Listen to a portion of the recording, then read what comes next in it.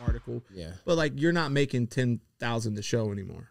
No. You're put and I mean, but even when I was making ten, I mean, I'm just different than everybody else. You love to it's fight, like, though. Yeah, I love to fight. I really love to win. Sucks to lose. You know what I mean? People ask me how many wins I got. I don't know. They ask me how, what's my record. I say eight losses. That's just how I am.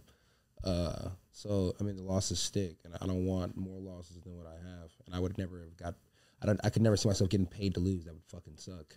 Uh, there's people out there that probably would do that. I mean, yeah. you know, guys who don't think they have a chance to win whatsoever. I always think I have a fucking hot chance to win, whether it's striking, whether it's grappling, whether it's whatever.